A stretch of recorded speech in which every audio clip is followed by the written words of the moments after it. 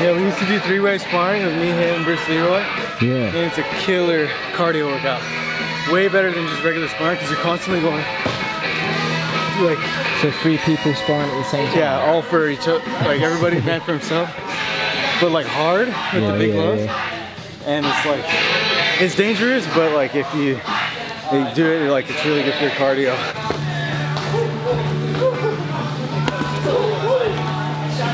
What up, guys? I'm Kyler Matrix Phillips, fighting out of, fighting from Temecula, California. Now I'm living in uh, Arizona now. Uh, you guys just saw me get back from Fight Island, Dubai. trying to get another fight. I'm a Nikito Kai fighter, black belt Nikito Kai sensei. Just got my black belt Jiu-Jitsu, Soul Fighters, what's up? So yeah, man, uh, started Jiu-Jitsu at like three years old. Started doing a lot of different martial arts with my dad and I just fell in love with the arts at a young age and was always not super disciplined, but I was always around the arts, always competing, and whether it was wrestling or judo competition or pancration as a younger kid, and then fighting on the reservation um, when I was younger, doing some um, some MMA fights on the reservation, and that just kind of took me to where I am now, and I just decided I've wanted to do this pretty much since I was six years old. I rode out Jiu-Jitsu World Champion, Abu Dhabi Champion, and UFC Champion. Those are my three uh, long-term goals for my life, and it's uh, it's I'm still chasing after the same exact goals, and I love what I do. And it's not always what you do, but why you do it. And I feel like with the purpose and the things that I do, I just there's nothing else I'd rather be doing. Uh, it was sweet, man. I liked. Uh, it wasn't too bad of a weight cut either, so the weight's never really a- an issue for me. And Casey was out there with me as well. Had uh, Coach John Crouse, Hanchi Nico, and Chris Cariaso was out there, Marcus McGee. So we were just doing a lot of funny, stupid stuff. We always just joke around.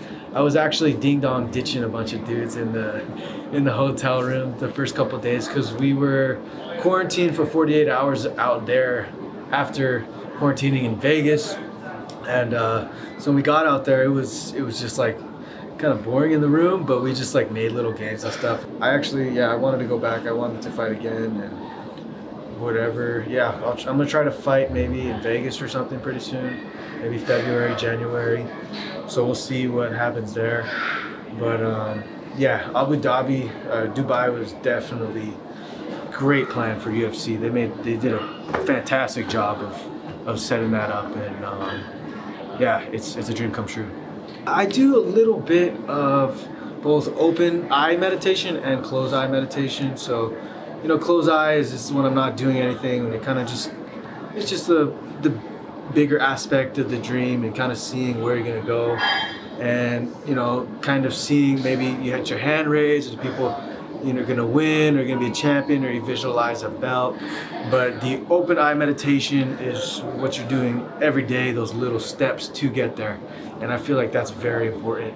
Not just the big things but the little things that you do every day. I feel like um, taking those little steps helps a lot because sometimes you get that big goal and you got a lot of you know uh, like a blind faith and you believe that you're gonna do that and you got you put all your heart and soul into it but sometimes you don't know exactly how and uh, once you get a clearer vision of what you're gonna do to get there it's it becomes a lot easier to see it and it's easier to believe and um, I didn't. I had a different opponent. I was fighting a Mongolian dude, so I did a whole. I did a full camp fighting for him. You know, he's got a heavy left hook. He had a knockout um, in his last fight, and so I was fighting for that style. And then he, I don't know, had some visa issues or something, so I couldn't fight him. And then I had a, I hopped on the plane, still didn't have an opponent. So I didn't have an opponent yet, but I hopped on the plane to go to Dubai, was training in Vegas, doing everything to get ready to go. Didn't have an opponent. So it wasn't, it was kind of like fun. It was like a little journey. Like, okay, no opponent, going to Fight Island. Just going through that whole process was really cool. And then my manager hit me up, you want to fight Cameron Else? didn't look him up. I was just like, let's go, yeah. And uh, watched a little bit of tape on him after that. Knew he was a heavy hitter. You know, big right hand, big uppercut. Uh, he's got some good chokes, brown belt jiu-jitsu, and he comes out hot in the first round. So I knew what he was gonna do, and I uh, it was cool that I got to have somebody to fight me last minute like that, and I had a great time. Uh, it's yeah, iron sharpens iron. You know, people say that all the time, and it's uh, it's cool to have a lot of great people around you, especially when they're striving to be the best version of themselves, and we help each other out. The better, you know, the more that I push them, the more they push me. We're helping each other out, and it's not always going to be to hurt each other, but we're gonna we're gonna make sure we test each other. We got a lot of talent in the gym. We got a lot of hard workers, and we got people that you know, maybe you don't know, people don't know their names, but they're in the gym working and they're always there with us. And that's what the team represents. And there's so many different aspects of martial arts that come in here and so many different connections that we get to just, I don't know, it, it's cool, man. It really is. And, uh, just MMA in general, it's, it's cool to have this type of setup plus what I do, plus what we all do, and you know, jiu-jitsu, MMA, wrestling. Guys coming here, it's got Bryce Meredith, you know, wrestling with him, working with Tanquinho Mendez, You know, I just got my black belt from him. You know, just all these different aspects of, of martial arts and people that got more information, not just success in, in the in the cage, but experience with whatever, whether it's business, whether it's um, social things, whether it's like health and, and, you know weight cutting or just who people know and being around this. There's a lot of fighters that have been in the game for a long time, especially throughout here. So you know, like even guys like Ben, they had they understand the habits, what it takes to not only get there but to maintain and to keep growing.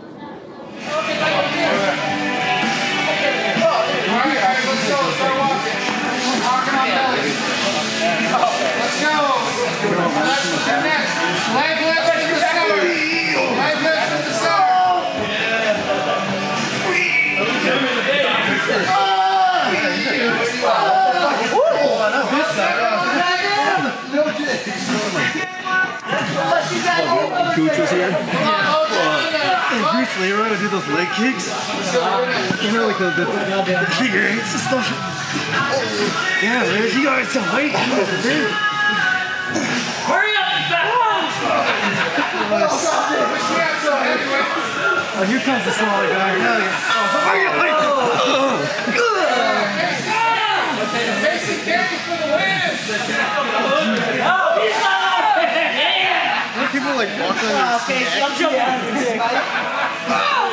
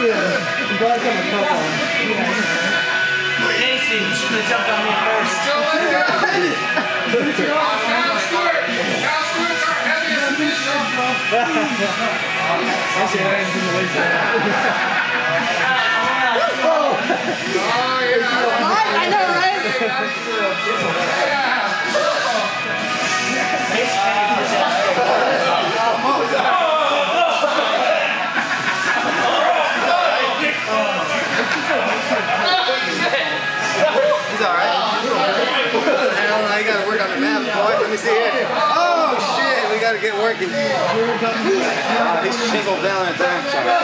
Oh, we need to work on it. too. Stuff off the ground, swords off the ground. Oh, sorry, man. Didn't see you.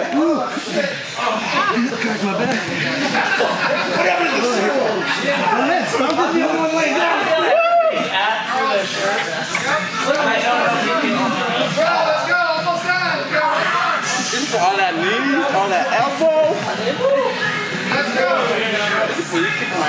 I thought my